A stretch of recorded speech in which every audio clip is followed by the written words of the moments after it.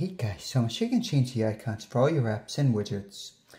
So you can either make them all different color, you can make them transparent, you can change the size. To this, just find the blank spot on your home page, hold down on it. The top corner, press edit. Press on customize. Alright, so a few options, just for example, you can make the icons dark. Or go back to default. You can also change the phone mode to light and dark mode. To make them transparent, just press clear.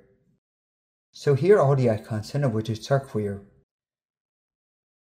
You can also change between light and dark or auto.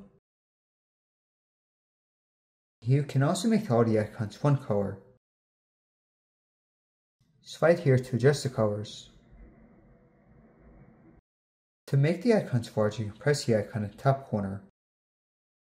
By doing so it gets rid of their titles. To save your changes, just press out of here.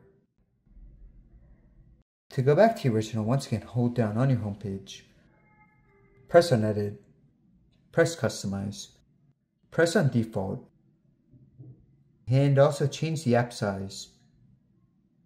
And yeah, there you have it. Okay guys, thanks for watching.